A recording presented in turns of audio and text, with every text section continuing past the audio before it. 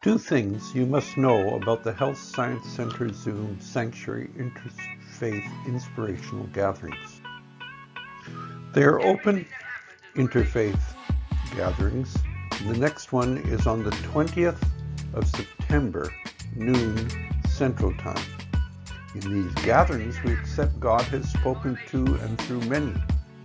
There was a prophet of peace, Deganawida, united five, later six mutually hostile tribal groups in a federal union based on the democracy of the great law of peace. He came to the Iroquois and Six Nations. O gods, all your names and forms to be revered, saluted, and adorned. There is also the Quechania, the mysterious messengers of the gods from the legends of the Hopi Indians. All are welcome at our gatherings, as potent and as far-reaching as are the spiritual forces released by individual and collective devotions offered within the Mashal Asgar, the dawning place of the mention of God, in the inspirational gathering, the devotional, and as essential as is a vibrant devotional life to one's spiritual development, worship must also result, the House of Justice notes, in deeds that give outward expression to that inner transformation. All are welcome. At these gatherings, we are all one family.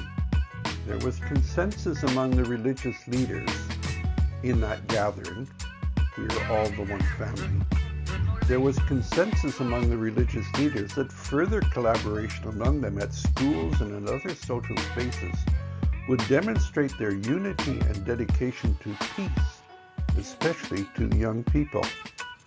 There was also the lone man, the Mandan sacred values, honoring all the children that did not come home. Verily, with exceeding joy, with heart and soul, do these oppressed divine offer themselves up for all mankind in every land. Thou seest them, O my Lord, weeping over the tears thy people shed, mourning the grief of thy children, condoling with humankind, suffering because of the calamities that beset all the denizens of the earth. We pray that we may be aligned with you your powers may flow through us and be expressed by us for the good of this planet Earth and all living beings upon it. The dialogue about missing and murdered First Nation women is important if we're to build a community we all feel we belong in.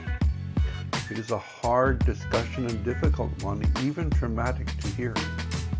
Our Aboriginal sisters have had to go through this trauma we can learn how they deal with being traumatized and can draw on their strength.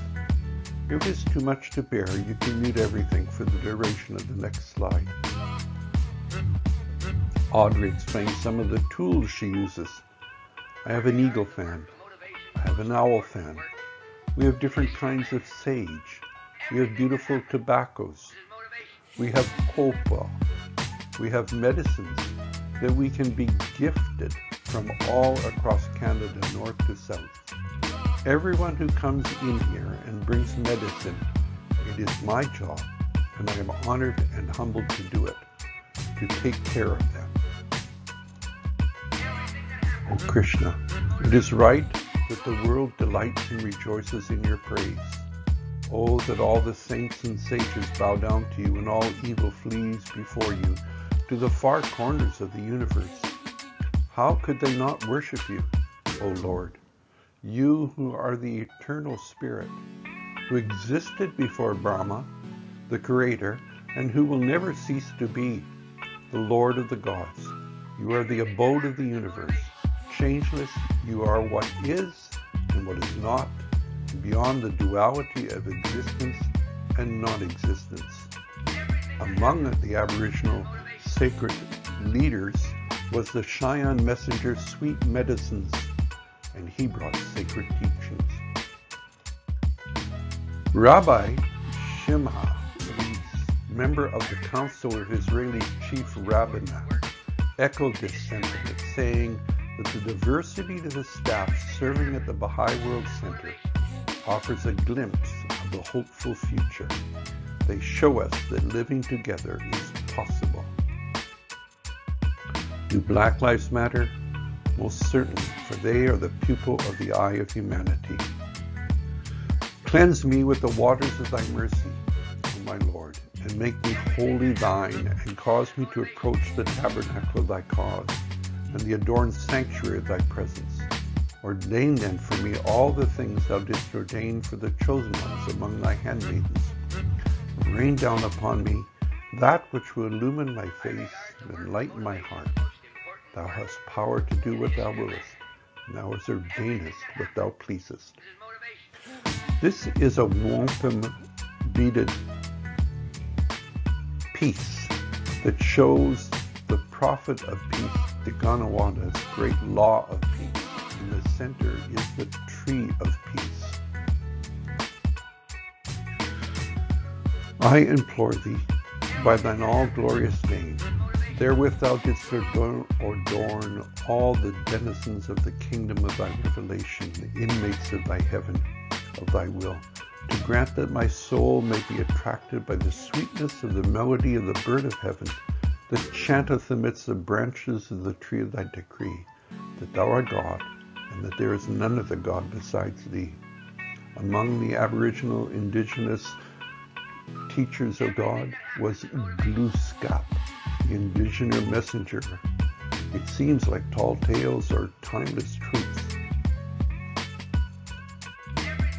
Indeed, the indispensable connection between these directing principles is integral to the oneness of humankind, which, as the House of Justice notes, is at once the operating principle and ultimate goal of Baha'u'llah's revelation. Make a list of your friends and invite them to this devotional or devotional you begin. It is a gift from me to them. They are about prayer and devotion and service. May you have a good week. Take good care.